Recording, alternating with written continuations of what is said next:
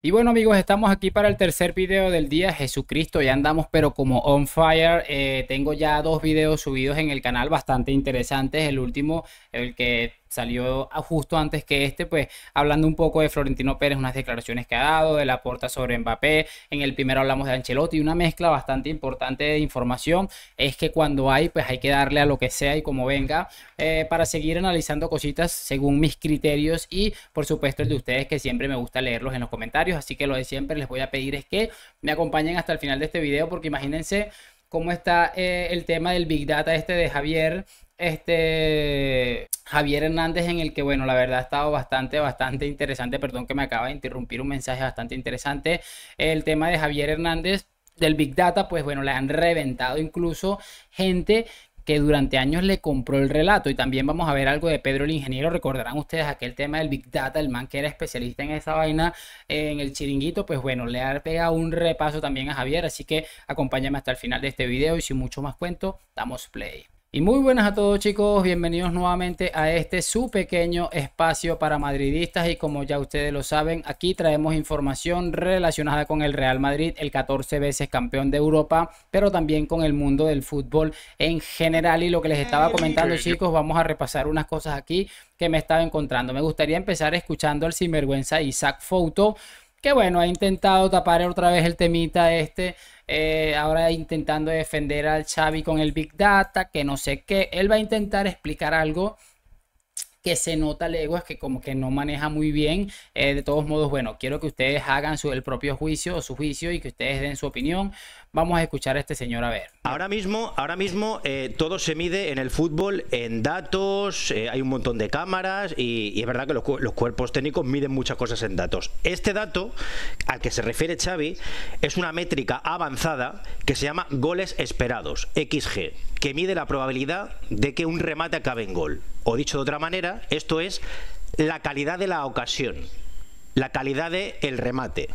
Y en esos datos, el Barça, de los cinco primeros clasificados de liga, eh, su XG, sus goles esperados, esta métrica, supera los goles que lleva. Es decir, el Barça antes del partido de Vigo, antes de esta jornada, llevaba 50 goles a favor y esta métrica le da un dato de 54,8. Es decir, que la calidad de la ocasión del gol, según el Big Data, es eh, de los cinco primeros, el Barça sería el primero porque iría líder. A este dato es, al que, se refiere Xavi. ya sé que os vais a reír. viendo la reacción de Miguel Rico. Perdóname. Pues, pues este es el dato al que se refiere. Bueno, pues es el dato al que se refiere, pero es un dato absolutamente ridículo, de verdad. Eh, yo no sé si esto para ustedes, pero a mí me da una sensación de que le ponen peor situación, incluso prácticamente está llamando mediocre a su equipo porque no remata o porque yo sé, pero la verdad es que es una cosa ridícula. Eh, lo de este tema del Big Data. Es que yo creo que ya es lo último.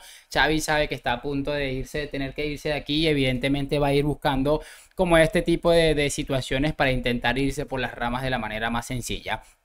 Y bueno, lo que les estaba comentando, imagínense ustedes de lo ridículo de esto, que hasta personajes como Manolo Lama, Manolo Lama, eh, le colocan en su sitio ante esta vergonzosa declaración. Escuchemos esto, porque es fuerte, pero es que es la realidad. Esta es la típica excusa de un iluminado que está fracasando y que busca gilipolleces cada semana el césped, la hora, el reloj, el tiempo y ahora se inventa el Big Data. Vamos a ver, mire usted, en el fútbol va líder el que más goles mete. Punto y final. Y al que menos le meten suele ser el equipo más compensado.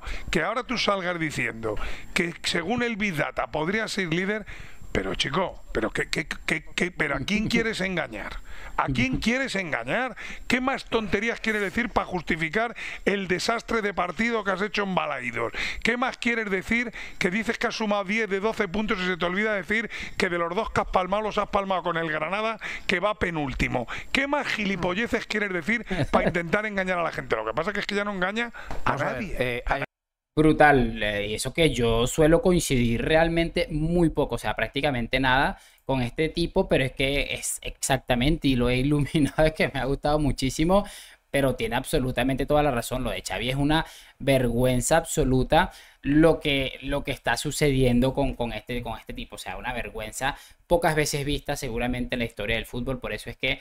Eh, intenta tapar el sol con un dedo y lo, lo, lo, lo que debe ser para Xavi algo nuevo es que eh, durante su etapa como futbolista y al principio como entrenador del Barça, esto se lo comía absolutamente todo el mundo, pero como bien dice Manolo Lama sobre el final de su opinión, ya absolutamente ni siquiera él mismo se debe creer las estupideces que dice.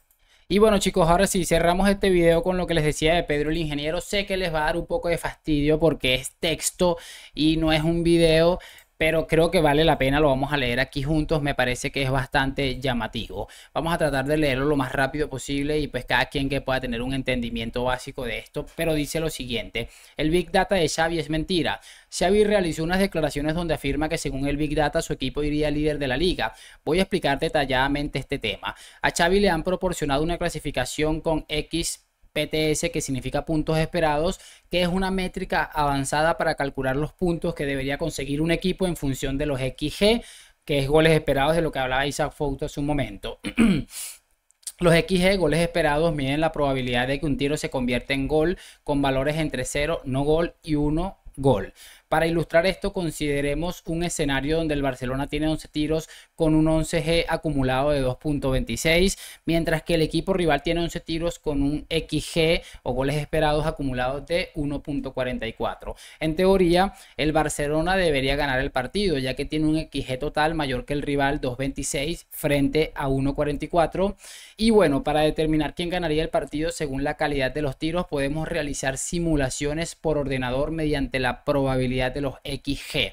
Esto implica generar un número aleatorio entre 0 y 1 para cada tiro. Y si este número es menor que el XG del tiro, se cuenta como gol. Repitiendo este proceso 10.000 veces, obtenemos 10.000 partidos simulados donde la mayoría de los casos el Barcelona ganaría debido a su mayor XG. Se asignan 3 puntos por victorias, 1 punto por empate y 0 puntos por derrota. Una vez calculados los resultados de los 10.000 partidos con los mismos XG de tiro, podemos obtener el promedio de puntos esperados por partido en función de esos tiros. Hasta aquí las declaraciones de Xavi tienen sentido. Sin embargo, no menciona que utilizar los X PTS, puntos esperados para clasificar equipos, es cuestionable y tiene sus limitaciones. Aquí está el porqué.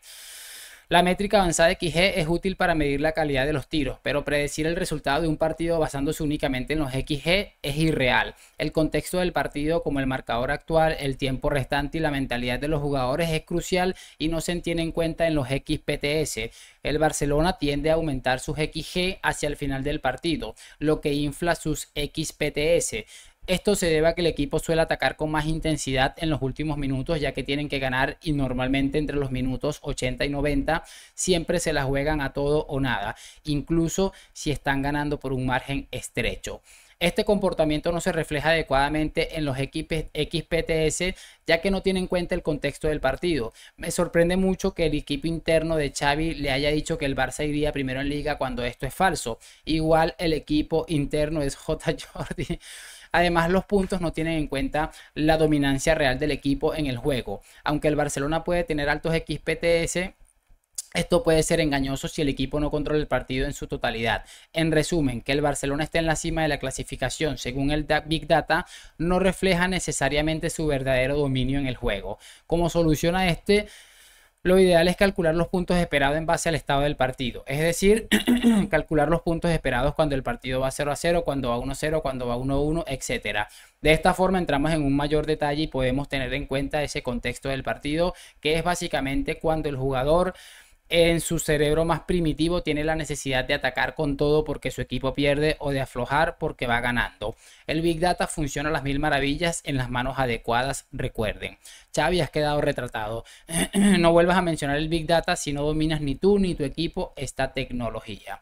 Bueno, es una locura la cantidad de texto 231 mil reproducciones tiene esto en, Twitter. Y como les estaba diciendo al principio es un tipo que está bastante empapado. Yo la verdad es que entendí eh, de todo esto entendí seguramente un 60% pero creo que es muy claro a la hora de explicar las situaciones y el contexto de los partidos. Creo que esa parte le dio un poquito de sentido a todo el enredo que yo me había hecho al principio pero para que vean que lo de Xavi es increíble, es que ni siquiera son tan ineptos que hasta para mentir son ineptos, porque el problema de las redes sociales a día de hoy es que cualquier persona seguramente está mucho más preparado que tú en muchos aspectos. Y en esta situación pues Pedro el ingeniero, un chico que parece que se gana la vida exclusivamente en este tipo de situaciones, es muy eh, muy friki con este, estos temas, pues yo creo que le ha puesto en su sitio y bueno, definitivamente yo con la gente que coloca en su sitio al jardinero mentiroso voy siempre de la mano. Me toca despedirme, espero que hayan disfrutado de este video, que me hagan saber sus opiniones en los comentarios y lo de siempre, si entendiste algo me lo dejas allá debajito, like, suscripción a la Madrid, nos vemos en un próximo video y chao chao.